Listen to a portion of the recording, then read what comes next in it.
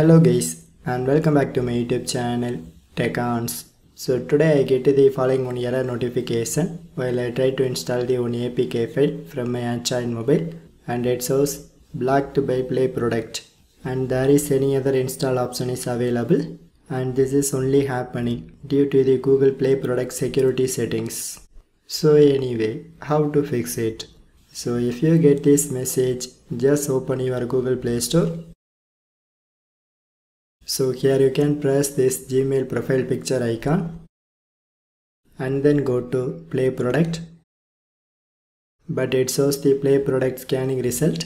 So here my all apps are very safe which means that no harmful apps are installed in my device. So anyway here you can press this gear icon and simply click to turn off both the settings.